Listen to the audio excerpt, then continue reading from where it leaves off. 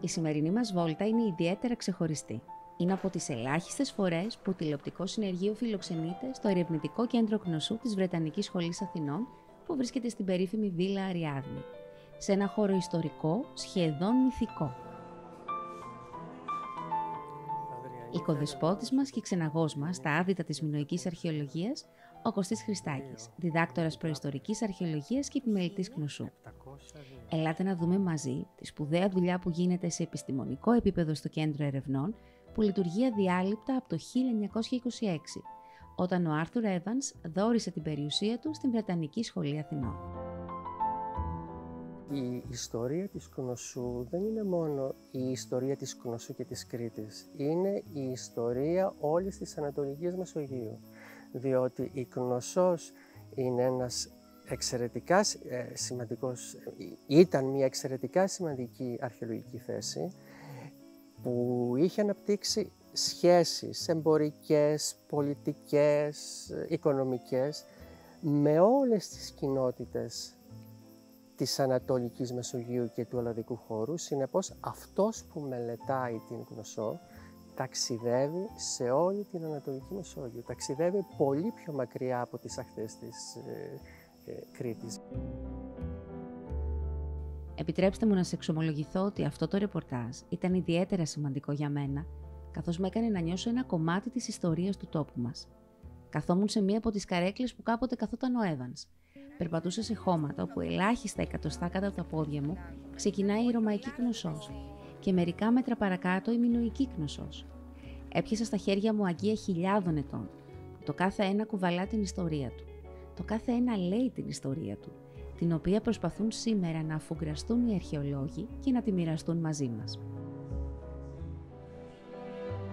Κουβαλάει μία ιστορία, κουβαλάει πολλές μνήμες, κουβαλάει, συνδέεται με τους ανθρώπους που το δημιούργησαν, που το χρησιμοποίησαν, που το πέταξαν και που το μελετούν και που θα το μελετήσουν στο μέλλον. Και το έργο ενός αρχαιολόγου και ενός ιστορικού βέβαια είναι από το αντικείμενο να δει αυτές τις διαφορετικές στρώσεις της μνήμης ώστε να το κάνει πιο ζωντανό.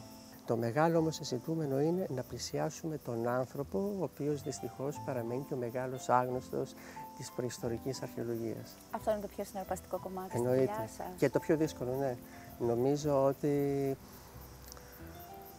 ο μεγάλος άγνωστος είναι ο άνθρωπος. Πώς μπορούμε να δούμε τα συναισθήματά του, πώς μπορούμε να τον νιώσουμε μέσα από αυτά που έχει αφήσει πίσω του. Και στη μινωρική αρχαιολογία υπάρχει ένα μεγάλο πρόβλημα, πρέπει να σου πω. Οι περισσότερες ανασκαφές έχουν εστιαστεί κυρίως στα ανάκτορα, σε πλούσια οικοδομήματα, σε ιερά. Ε, δηλαδή έχουν εστιαστεί ε, σε σύνολα που χρησιμοποίησε η άρχουσα τάξη. Αυτό που βλέπουμε στο Μουσείο του Ηρακλείου είναι εντυπωσιακό μουσείο στο είδος του. Ε, είναι ο μινοϊκός πολιτισμός της ελίτ, είναι ο μινοϊκός πολιτισμός της άρχουσας τάξης.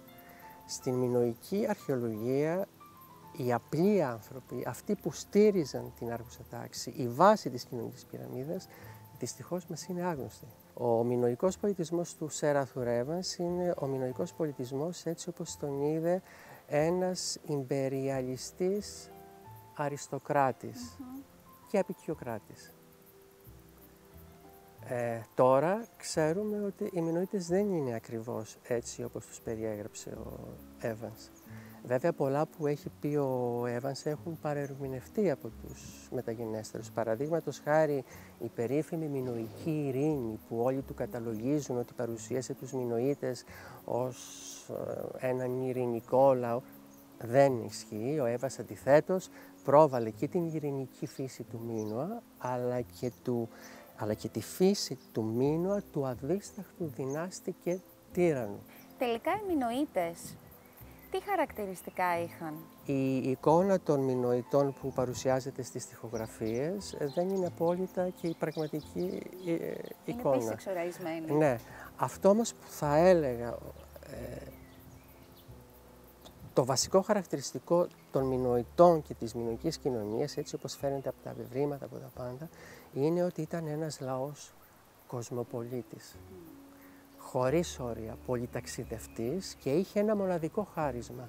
Να παίρνει στοιχεία από διαφορετικούς πολιτισμούς, από τον Αιγυπτιακό, από τη Συροπαλαιστίνη, από διάφορους πολιτισμούς, να τα αφομοιώνει και να τα κάνει κάτι μοναδικό, κάτι εντελώς δικός του. Και αυτό δεν είναι χαρακτηριστικό μόνο των Μινοητών, είναι χαρακτηριστικό των Κριτών. Διότι, ε, διότι εάν, εάν δούμε διαχρονικά την κριτική ιστορία, είναι αυτή η ικανότητα αφομοίωσης διαφορετικών πραγμάτων και δημιουργία ενός πολιτισμικού μορφώματος μοναδικού που δεν υπάρχει. Αυτό είναι που ξεχωρίζει την Κρήτη και, και δεν θα ήθελα να χαρακτηριστώ κριτικό κεντρικός, αλλά ένας μεγάλος ιστορικός, ο Δημαράς, είπε ότι η Κρήτη είναι το χωνευτήρι των λαών. Το είπε και ο Καζαντζάκης αυτό. Δεχόμαστε επιδράσεις, τις, κάνουμε, τις μετατρέπουμε σε κάτι μοναδικό και αυτό μας κάνει ξεχωριστούς. Πώς είναι να ζεις, να εργάζεσαι σε έναν τόπο που κουβαλά αυτή την ιστορία; Περνούν αυτές οι σκέψεις από το μυαλό σου αναπόφευκτα φαντάζομαι. Συνέχεια. Ε, αυτό το βάρος της ιστορίας ε, και το βάρος πώς θα τη διαφυλάξεις, πώς θα τη σεβαστείς και πώς θα τη μεταδώσεις στους άλλους, ε, δεν σου κρύβω ότι είναι το μόνιμο μου άγχος. Ε, υπάρχει αυτό. Ε, επηρεάζεσαι. Ε, αλλά, αλλά και σαν χώρος είναι ένας χώρος που έχει μια ιδιαίτερη άβρα. Ε, γιατί όλα αυτά πίσω τους αφήνουν, αφήνουν κάτι. Και, ακριβώς και όταν έχεις και τις αντίστοιχες κεραίες, mm. ε, μπορείς αυτά να τα καταλάβεις και να, και να τα αισθανθείς. Η αφορμή για να βρεθούμε στο ερευνητικό κέντρο της Κνωσού ήταν μια έκθεση φωτογραφίας με τίτλο «Νήμα» από τη φωτογραφική ομάδα Photo Sapiens που αποτελείται από τους Σπύρο Ανδρουλάκη, Μάρα Γιαμαλή και Κωνσταντίνο Σακαδάκη. Για τρία ολόκληρα χρόνια, η ομάδα δούλεψε ακούραστα σε συνεργασία με τον Κωστή Χριστάκη για να μπορέσουν να εντοπίσουν τον τρόπο που θα αναδείξει την ιστορία μας. Τη μνήμη του τόπου μας και τη σχέση που διαχρονικά ανέπτυξε ο άνθρωπος με τα αντικείμενα που σήμερα οι μελετητές έχουν στα χέρια τους. Έχει ενδιαφέρον να δούμε πώς η δημιουργοί της έκθεσης, που σήμερα παρουσιάζεται στους χώρους του Κέντρου Ερευνών, βίωσαν την εμπειρία της επαφής με χιλιάδες χρόνους ιστορίας. Το νήμα είναι οι διαφορετικές ερμηνείες, είναι τα επίπεδα, τα διαφορετικά μνήμης όταν ε, γυρίσουμε πίσω και προσπαθήσουμε να καταλάβουμε πώς φτάσαμε ως εδώ. Και αυτό έχει για μένα πολύ μεγάλη αξία. Είναι πολύ διαφορετική η δρόμη για να φτάσεις αυτό. Εγώ πραγματικά έτσι εντυπωσιάστηκα από το πόσο λεπτές διαφορετικές ποιότητες είχαν οι κατευθύνσεις που ο καθένας μας έμπαινε σε αυτό το πράγμα, που φανέρωναν σχέσεις, τη σχέση δηλαδή που έχει ο καθένας από εμά με την ιστορία, με το παρελθόν, αλλά εν τέλει με το σήμερα, γιατί σήμερα τα ερμηνεύεις και μάλιστα ε, δεν υπάρχει και κανένας άλλος σκοπός πέρα από το αύριο. Οι εικόνες έχουν να κάνουν πάντα με μια, όπως είπαν και η Ειρήνη και ο κύριος Κώστας, την, ε, ε, τη σύγχρονη ματιά του ανθρώπου σε έναν χώρο ιερό. Γιατί είναι ένας χώρος που ουσιαστικά έχουν περάσει τόσοι άνθρωποι, πέρα από, τη, από τον Evans, είναι ε, κάτι μοναδικό που δεν είναι πάντα προσβάσιμο. Και αυτό είναι και δελαστικό γοητευτικό και κάποιες φορές και επικίνδυνο από την άποψη ότι θέλουμε να, να το κατακτήσουμε με το κάθε κόστος. Ερχόμασταν, κοιτούσαμε τον χώρο, ε, εμπνεόμασταν, αλλά όταν γυρνούσαμε πίσω ποτέ δεν μπορούσαμε να, να οριοθετήσουμε τις εικόνες μας, γιατί ήταν τόσο μεγάλο το, το, όχι το ιστορικό βάρος του χώρου κυρίως, αλλά το τι έχει δημιουργηθεί εδώ και τι έχει βγει εδώ πέρα ε, ε, γνωστό σε όλη την Κρήτη και την Ελλάδα που θέλαμε λίγο να κατασταλάξει μέσα μας και να αρχίσουμε να δουλεύουμε έπειτα. Ε, και έτσι ουσιαστικά γεννήθηκε το νήμα, η αρχή που ξετυλίγεται μια ιστορία με μια σύγχρονη ματιά από μας, από την ομάδα,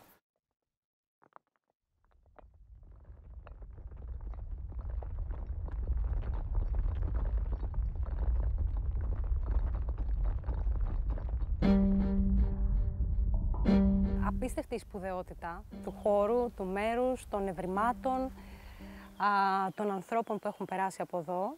Ε, αλλά κάποια στιγμή όχι, δεν το απομυθοποιείς ή δεν το υποβιβάζεις ή οτιδήποτε τέτοιο, αλλά χαλαρώνεις. Εξοικειώνεσαι με Χαλαρώνεις αυτό, και αρχίζει εκεί να εμφανίζεται για μένα το πιο ωραίο κομμάτι, γιατί όπως είπες και εσύ προηγουμένως, δεν μπορείς να επιστρέψεις πίσω. Δεν, μπορούμε, δεν, δεν μπορείς να, να βιώσεις αυτόν τον πολιτισμό. Με ένα, με ένα πολύ περίεργο τρόπο όμως, νιώθεις συνδεδεμένος. Είναι αυτό που δεν μπορείς να εξηγήσεις. Και εκεί νομίζω που μπορούμε να, να νιώσουμε συνδεδεμένοι είναι εκεί που είμαστε κοντά. Δηλαδή όταν πιάσεις αυτή τη διάσταση του ότι αποτελείς μία, με έναν τρόπο μία συνέχεια αυτού του πράγματος, όχι απαραίτητα στη σπουδαιότητα, αντικειμενικά όμως, είσαι συνδεδεμένος.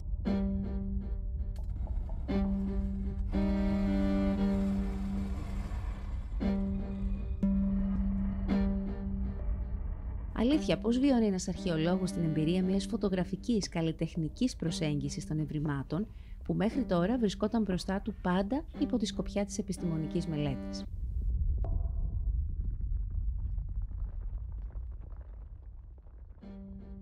Μου έδωσαν τη δυνατότητα να ταξιδέψω μαζί τους και με έμαθαν κατά κάποιο τρόπο πώς να δω το αρχαιολογικό έβριμα και πώς να δω την ιστορία με ένα διαφορετικό τρόπο.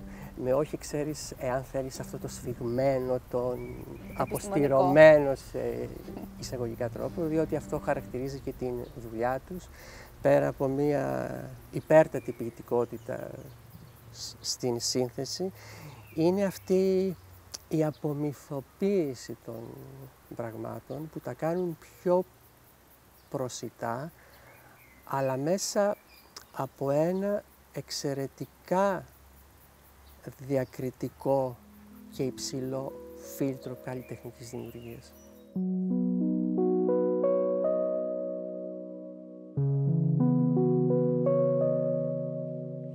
Το ερευνητικό κέντρο Κνωσού μπορεί να μην είναι προσβάσιμο στο ευρύ κοινό, ακριβώς γιατί είναι χώρος έρευνας και μελέτης, αλλά από τη δημιουργία του στις αρχές του περασμένου αιώνα έχει αναπτύξει μια μοναδική εξωστρέφεια ως προς τα μέλη της παγκόσμιας επιστημονικής κοινότητας που μελετούν τη μινοϊκή αρχαιολογία.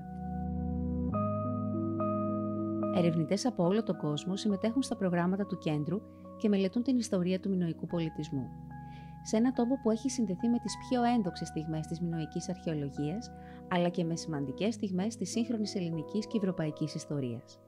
Ελάτε να δούμε μαζί τη βιβλιοθήκη του κέντρου που φιλοξενεί τη σημαντικότερη βιβλιογραφία σχετικά με την κριτική αρχαιολογία.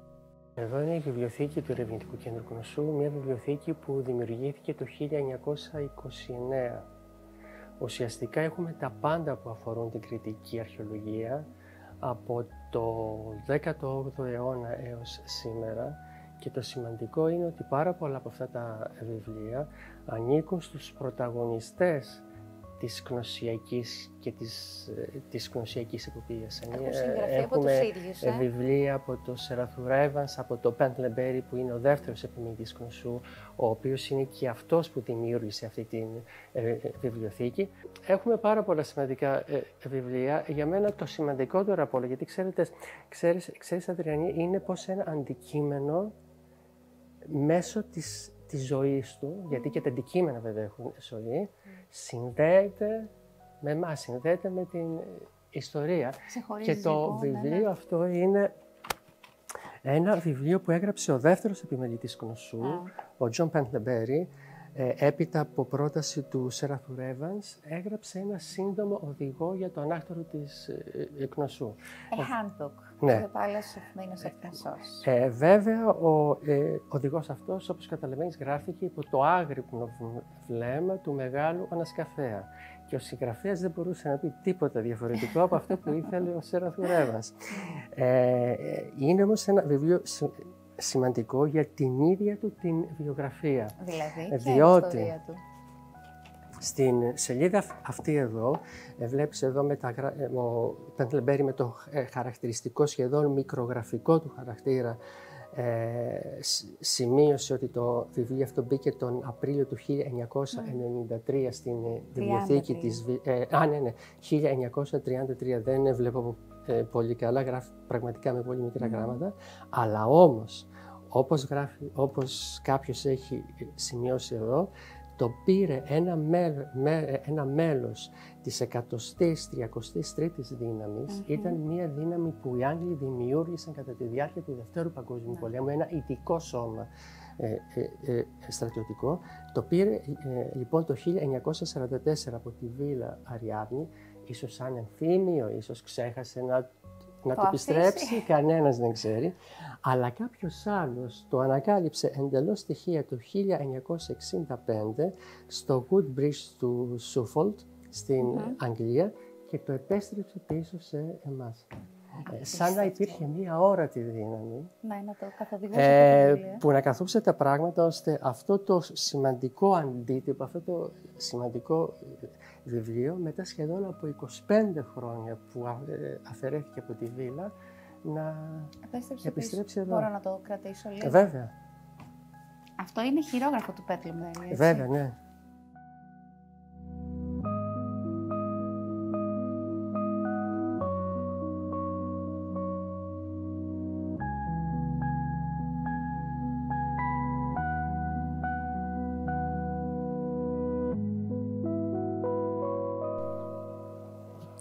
Αδριανή, θέλω εδώ να σου δείξω ένα βιβλίο. Είναι του 1702. Είναι του Ντράπερ. Ο Ντράπερ εδώ λοιπόν περιγράφει τα νησιά του Αιγαίου, την Κύπρο, τη Ρόδο, την Γκάντια, τη Σάμο, τη Χίο. Βέβαια, ο Ντράπερ δεν επισκέφθηκε ποτέ την, ε, την περιοχή αυτή, απλώς συλλέγει όλες τις μυθικές αφηγήσεις, τις ιστορίες από άλλους περιηγητές και από, και από ναυτικούς και έχει βέβαια υπέροχες γραβούρες μέσα, κυρίως χάρτες. Βλέπεις βέβαια τότε το περίγραμμα της Κρήτης και του λατικού βέβαια χώρου ήταν εντελώς διαφορετικό. Πάμε τώρα στο πιο συναρπαστικό κομμάτι της περιήγησής μας, στο Στρωματογραφικό Μουσείο του Ερευνητικού Κέντρου Κνωσού. Το πρώτο στρωματογραφικό μουσείο που δημιουργήθηκε στην ελληνική επικράτεια από τον Evans και τον αρχαιολόγο πεδίου Duncan Mackenzie. Με βάση την τεχνική της στρωματογραφίας, η ανασκαφή των ευρημάτων ακολουθεί τον χρόνο και τον τρόπο απόθεσής τους στο σημείο. Τα πιο εντυπωσιακά εκθέματα από τις ανασκαφές της Ρδανική βέβαια βρίσκονται στο Μουσείο Ηρακλείου. Ναι. Σε ένα μουσείο μοναδικό στο ίδιο του. Εδώ έχουμε άλλα εκθέματα, πολλά εκ των οποίων είναι πράγματι εντυπωσιακά, όπως αυτό εδώ το ε, αγκείο διακοσμένο με την σβάστηκα του 18ου αιώνα. Βέβαια, το σύμβολο αυτό δεν έχει καμία σχέση με, τη γερμανική σβάστηκα. με την γερμανική ε, Τι συμβόλιζε; Ε, σε όλους τους πολιτισμούς, από την Αίγυπτο, στην Ιαπωνία, στην Κίνα, παντού. Είναι ένα σύμβολο που συμβολ... είναι ένα αστρικό σύμβολο που συμβολίζει τη δύναμη της ζωής. Τώρα, το πώς αυτό το σύμβολο ταυτίστηκε με με τη δύναμη του, με την έννοια του ε, θανάτου είναι κάτι άλλο θέμα. Για πάρα πολλά χρόνια, για πάρα πολλές δεκαετίες, προσεγγίζαμε τα αντικείμενα και εστιάζαμε μόνο στην εξωτερική τους επαφή. Δηλαδή. δηλαδή, ε, μελετούσαμε το σχήμα, τα διακοσμητικά μοτίβα, τα ε, χρώματα, ακριβώς. Από τη δεκαετία του 60, η αρχαιολογία χρησιμοποιώντας και άλλες επιστήμες όπως την χημεία, την ε, φυσική αλλά και άλλες επιστήμες προσπαθεί να κατανοήσει το ίδιο το ε, αντικείμενο, δηλαδή όχι μόνο την εξωτερική του μορφή, αλλά, αλλά από τι υλικά έχει κατασκευαστεί, από πού προέρχονταν αυτά τα ε, υλικά προκειμένου να δει εμπορικά ε, ε, ή δίχτυα ανταλλαγής ιδεών. Ε, συνεπώς προσπαθούμε από το εξωτερικό να καταλάβουμε το εσωτερικό. Ακόμα παραδείγματος χάρη μπορούμε να μελετήσουμε και να δούμε τα χέρια του ε, κεραμέα, πώς έπλασε το, ε, πώς έπλασε ένα αγγείο, παραδείγματος χάρη αυτό εδώ το ε, Αυτό είναι το αποτύπωμά του. Ακριβώς. Ναι. Αυτό το ε, αγγείο, παραδείγματος χάρη, είναι χειροποίητο, δηλαδή είναι περίπου στο 2.500 βέβαια. Ενώ άλλα ε, αγγεία... Αυτό από τι υλικό είναι φτιαγμένο. Πυλός, πυλός. Ε, ενώ... Αυτό είναι το το γνήσιο κομμάτι, πώς βρέθηκαν τα Βέβαια, εγκλήματα. είναι, είναι το γνήσιο και αυτή Εδώ είναι η, είναι η προσθήκη, η για να πάρει τη συντήρηση. δική του μορφή. Ενώ, ας πούμε, εδώ βλέπεις ένα αγγείο κατασκευασμένο με το γρήγορο τροχό. Γι' αυτό Μμμ. φαίνονται τα ίχνη του Τα σημάδια, ε, ε. τροχού. Και μάλιστα Εκεί. μπορούμε να δούμε εάν ο κεραμίστας ήταν δεξιόχειρος ή, ή αριστερόχειρος, με τι πίεση πάτησε το δάχτυλό του για να κολλήσει την ε, ε, Τι λαβή. ειδικότητες και να χρειάζονται πεις- επιστημονικές για να γίνουν αυτές οι διαπιστώσεις; Παρατήρηση. Παρατήρηση, ε. Παρατήρηση, παρατήρηση, μελέτη και να έχεις εμπειρία, να έχεις δει πολλά ευρήματα. Ναι.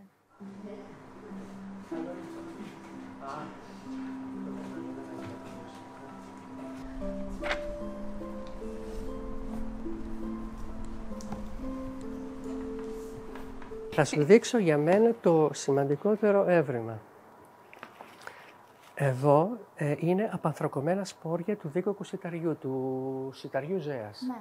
Του, σε εμάς γνωστό ως σιτάρι Ζέας. Με τη δύνατο του άνθρακα 14 χρονολογούνται στην 7η χιλιετία. Δηλαδή εδώ στα χέρια μου, Αδριανή, κρατάω Εντυπωσιακό. σπόρια 9.000 χρόνων. Μπορώ να τα κρατήσω και εγώ. Βέβαια. να μοιραστούμε Ξέρεις, την είναι, εμπειρία. είναι σημαντικό πάντοτε να ακουμπάς, να χρησιμοποιείς όλες σου τις Τις αισθήσεις αισθήσεις. για να καταλάβεις κάτι. Πού βρέθηκαν; Και Αυτά βρέθηκαν στον πρώτο οικισμό της γνωσού, Μμμ. σ- στην πρώτη φάση του νεολιθικού οικισμού της γνωσού, στη, χρονολογείται στην 7η χιλιετία. Άρα στα για- κατώτερα στρώματα, Βέβαια, ε. βέβαια. Ε, σε μία ανασκαφή του John Evans, συνονόματος του Μμμ. Evans, δεν είχαν καμία σχέση που έκανε τη δεκαετία του 60 στην κεντρική αυλή του ε, Αναχτόρου. Γιατί όμως είναι σημαντικά. Γιατί τα σπόρια αυτά, και έχουμε σπόρια βέβαια και από δημητριακά, αλλά και κόκαλα ζώων όπως ε, γουρούνια, ε, εγωπρόβατα ε, και ε, βοηδοί, Ναι, είναι εξημερωμένα. μάλιστα. Δεν είναι στην άγρια τους μορφή, είναι στην εξημερωμένη τους Άρα μορφή. καλλιεργούσαν. Και είναι η υπαρχιότερη ματηρία που έχουμε με τα σημερινά δεδομένα Ναι. για την παρουσία μιας κοινότητας, μιας νεολιθικής κοινότητας, η οικονομία της οποίας βασίζεται σε εξημερωμένα φυτά και ζώα, όχι στον ελλαδικό χώρο, αλλά στην Ευρώπη. Αρχικά το μουσείο λειτουργούσε στο χώρο των ανασκαφών της Κνωσού και στη Βίλα Αριάδνη. Τη δεκαετία του 60 μεταφέρθηκε στο κτίριο που εμείς βρισκόμαστε σήμερα. Στο κέντρο γίνονται προγράμματα στα οποία συμμετέχουν φοιτητές και ακαδημαϊκοί από όλο τον κόσμο που μελετούν τη μακραίωνη ιστορία της Κνωσού. Εμείς συναντήσαμε μία ομάδα φοιτητών που εθελοντικά καταγράφουν, ταξινομούν και ενσωματώνουν τα δεδομένα της επιστημονικής έρευνας και των ανασκαφών σε μια ηλεκτρονική βάση δεδομένων για να είναι προσβάσιμα σε όλους τους ερευνητές παγκοσμίως.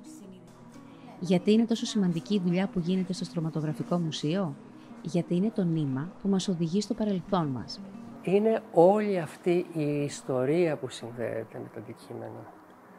Ε, Είναι ε, αντικείμενα τα οποία έζησαν στο, παρ- στο παρελθόν, όπως αυτά εδώ, ζουν στο παρόν και θα ζουν και στο μέλλον. Και είναι Ακόμα και όταν εμείς αντικείμενα δεν θα είμαστε πια εδώ, αυτά θα συνεχίσουν την πορεία. τους Ακριβώς. στα Και βιβλία, θα- βιβλία. Και θα αμαρτυρούν παραδείγματος χάρη ε, ποιος, ποιος το συντήρησε, γιατί εδώ βλέπεις τα διαφορετικά επίπεδα μνήμης. Βλέπεις το αρχαίο κομμάτι το οποίο έχει συντηρηθεί, έχει μελετηθεί, βλέπεις την συμπλήρωσή του. Γίνεις αναπόφευκτα κομμάτι της Ακριβώς, ιστορίας. ακριβώς. Α- Ακουμπάς μια ιστορία και ταυτόχρονα, ακουμπώντας αυτά εδώ, ακουμπάς και όλους όσους πέρασαν, το είχαν ακουμπήσει αυτό πριν. Μέσα στα επόμενα χρόνια, το Στρωματογραφικό Μουσείο θα αλλάξει εικόνα. Η συνεργασία της Βρετανικής Σχολής Αθηνών με την Εφορία Αρχαιοτήτων και το Υπουργείο Πολιτισμού έχει αποφέρει καρπούς και το μουσείο θα αποκτήσει τις εγκαταστάσεις αντίστοιχες του κύρους του, ικανές να αποτελέσουν πόλο έλξης για τη διεθνή επιστημονική κοινότητα. Και κάπως έτσι, μέρα με τη μέρα, γίνεται πράξη και το όνειρο του οικοδεσπότη μας, Κωστή Χριστάκη, η ιστορία του τόπου, η γνώση που παράγεται από τη μελέτη της, να φτάσει στο ευρύ κοινό, να γίνει απόκτημα του τόπου και των ανθρώπων του.